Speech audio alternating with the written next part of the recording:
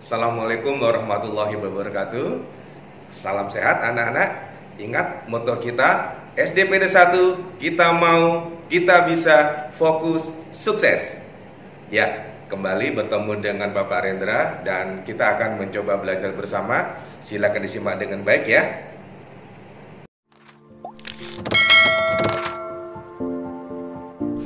Baiklah anak-anak, kita kembali pelajaran PKLH hubungan manusia dengan lingkungannya KD titik 3.2 mengidentifikasi lingkungan sehat dan tidak sehat di lingkungan sekolah dan rumah. Kali ini kita akan mempelajari tentang aktivitas manusia yang merusak lingkungan. Manusia dan lingkungan merupakan dua hal yang tidak dapat dipisahkan. Manusia membutuhkan lingkungan untuk memenuhi kebutuhan hidupnya. Hubungan atau interaksi antara manusia dengan lingkungan ini jika diberlakukan tidak bertanggung jawab akan mengganggu keseimbangan dan kelestarian alam serta berdampak juga pada terganggunya kehidupan manusia. Beberapa contoh aktivitas manusia yang merusak lingkungan. Yang pertama, membuang sampah sembarangan. Dua, penebangan hutan secara liar dan pembakaran hutan.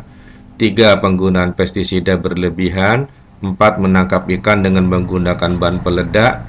Lima, penggunaan banyak kendaraan bermotor dan yang keenam perburuan hewan secara liar. Sini ada contoh gambar anak-anak ya, itu yang pertama penebangan pohon secara liar, penggunaan pestisida yang berlebihan. Ini menangkap ikan dengan uh, bahan peledak. Ini penggunaan kendaraan bermotor yang bisa menyebabkan polusi udara, menembak uh, binatang secara liar membakar hutan sehingga hutannya habis ya.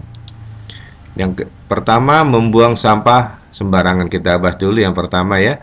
Kebiasaan membuang sampah sembarangan sehingga mengotori lingkungan memiliki banyak dampak buruk yang berpengaruh pada kesehatan manusia. Ada demam berdarah, hepatitis A, hingga cacingan ini merupakan contoh penyakit yang bisa ditimbulkan akibat kebiasaan buruk ini. Nah, sampah yang dihasilkan dari rumah atau individu umumnya diba bisa dibagi menjadi dua, yaitu sampah organik, yaitu sampah yang dapat terurai dan berasal dari bahan-bahan yang bisa membusuk, seperti sisa makanan, kulit buah, dan batang sayur-sayuran. Yang kedua, sampah anorganik atau guna ulang adalah sampah yang tidak dapat terurai tapi umumnya bisa didaur ulang, seperti yang terbuat dari plastik dan kaleng. Jika dibuang sembarangan bisa menyebabkan jadi tempat bakteri dan parasit tumbuh subur, serta mengundang berbagai binatang yang bisa menjadi vektor atau pembawa penyakit seperti tikus, kecoa, dan nyamuk. Kita mengenal tempat sampah anak-anak ya, ada abu-abu untuk residu, bandar ulang warna kuning, sampah organik warna hijau, sampah guna ulang warna biru, dan sampah B3 warna merah. Sini ya, sudah ada penjelasannya. Merah tadi untuk apa anak-anak? Ya, untuk sampah B3 bahan beracun berbahaya. Contohnya lampu neon, film, baterai, kaset, racun serangga dan lain-lain. Yang hijau untuk sampah organik tadi sudah warna kuning untuk sampah yang guna ulang atau anorganik, warna biru untuk kardus, karton makanan, minuman, koran bekas dan lain-lain yang abu-abu untuk residu yaitu popok bayi, puntung rokok, permen karet, dan lain-lain. Penanggulang sampah di kota Balikpapan Kota Balikpapan mampu menjaga tradisi sebagai kota terbersih di Indonesia. Berbagai kebijakan pun dibuat. Ini penanggung jawabnya ya, ada namanya DLH, Dinas Lingkungan Hidup, ada DPU, Dinas Pekerjaan Umum. Tempat pengumpulan sampahnya di Balikpapan ada dua macam, ada TPS, tempat pembuangan sampah sementara yang ada di setiap lingkungan, dan TPA, tempat pemrosesan akhir di Manggar Keluarga Titip. Ini ya gambarnya anak-anak ya. Nah, TPA Manggar ini diketahui merupakan satu-satunya yang diresmikan langsung oleh Presiden Joko Widodo pada tanggal 18 Desember 2019. Selain itu, TPA Manggar disebut juga sebagai wadah pengelolaan sampah modern lantaran menggunakan teknologi sanitary landfill.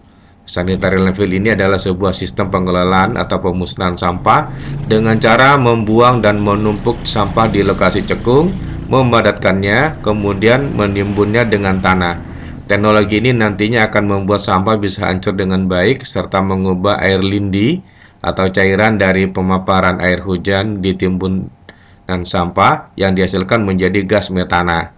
Nah, gas inilah nantinya bisa dimanfaatkan oleh warga sekitar untuk keperluan sehari-hari. Nah, TPMR Manggar ini nantinya digunakan sebagai tempat pengelolaan sampah dan tempat rekreasi bagi warga yang ada di sekitar. Nah, ini adalah gambar Presiden Joko Widodo pada waktu meresmikan. Yang kedua, penebangan hutan secara liar atau illegal logging. Maksudnya artinya nih ya, sebuah kegiatan penebangan pendistribusian hingga penjualan kayu secara tidak sah atau tanpa ada izin, sehingga menjadi sebuah bentuk ancaman. Penyebabnya adalah meningkatnya kebutuhan akan kayu baik di pasar lokal maupun internasional, serta dipengaruhi oleh lemahnya faktor penegakan hukum yang ada di Indonesia, sehingga kegiatan penebangan liar ini terjadi dengan begitu mudahnya. Dampak illegal logging yang pertama hilangnya kesuburan tanah, sulitnya sumber air, tiga menurunnya keanekaragaman hayati, empat pemicu bencana alam, dan lima penyebab pemanasan global. Namun ada beberapa upaya penyelamatan hutan. Yang pertama mengadakan reboisasi, dua memperkuat hukum tentang perlindungan hutan, Tiga, melaksanakan sistem tebang pilih. Empat, melaksanakan sistem tebang tanam. Dan yang kelima, memberikan sanksi berat bagi pelanggar hukum. Nah, ini anak-anak, supaya kalian kenal, ini ada beberapa hutan yang ada di Balikpapan. Yang pertama, hutan kota Balikpapan di kawasan Pertamina Balikpapan. Dua, hutan bakau atau mangrove di Margomulyo dan Margasari Kampung Baru. Yang ketiga, hutan bakau atau mangrove center di Karyangau. Yang keempat, hutan lindung Sungai Wain atau HLSW di kilometer 15 dan Taman Agrowisata di kilometer 23. Demikian anak-anak, mudah-mudahan bisa dipahami ya. Alhamdulillah hari ini pembelajaran sudah selesai. Semoga kalian bisa memahaminya dengan baik dan sampai ketemu lagi di pembelajaran berikutnya. Assalamualaikum warahmatullahi wabarakatuh.